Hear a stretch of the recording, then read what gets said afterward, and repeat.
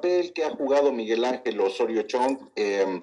yo creo que eh, a principios de año veíamos sí este encontronazo que tenía con Alejandro Moreno Cárdenas, pero no imaginábamos que iba a llegar a esto. Después de aquel abrazo, ¿se acuerdan del abrazo de Acatempa, mi querido René? Eh, estuvimos también comentando aquí y que hablábamos de la hipocresía y cuánto iba a durar. Pues yo les decía que iba a durar lo que tenía que lo que iba a a, lo que tenía que durar, pues, o sea, eh, en esto de la, de la política, en esto de este, este juego, pues es un juego también perverso, ¿no? Y duró lo que, pues lo que tuvo que durar. Hubo ahí esa conferencia de prensa donde los dos se veían muy forzados, donde se hablaba que hasta repartición había, pues ya vimos que fue hueco y que al final los dos, como lo que son, no como caballeros, pues no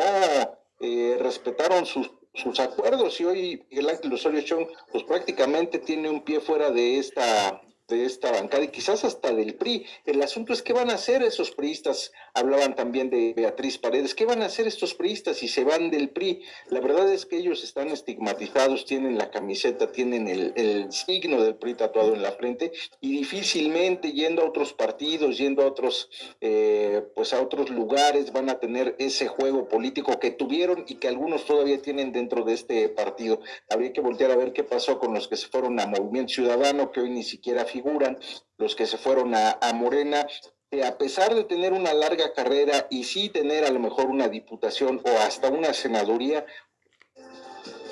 eran en este, en este partido, no, no son lo que eran en el PRI. Habrá que esperar para dónde va todo esto. A mí lo que me llama la atención es lo que decían ustedes también sobre eh, pues estos liderazgos que existen dentro del PRI todavía, aunque ya no sean esos grandes liderazgos eh, de principios de siglo o del siglo pasado, eh, rumbo a una elección que ya está en la puerta, está la, estamos a que a dos semanas, menos de dos semanas de que empiece esta campaña política, tanto en el Estado de México como en Coahuila, pero sobre todo la del Estado de México, no hay que perderla de vista y no hay que perder de vista también en el Estado de México qué papel va a jugar Miguel Ángel Osorio Chong. Y de buena fuente les digo que muchos de los operadores priistas de mediana y de bajo perfil van a jugar a favor de Delfina Gómez porque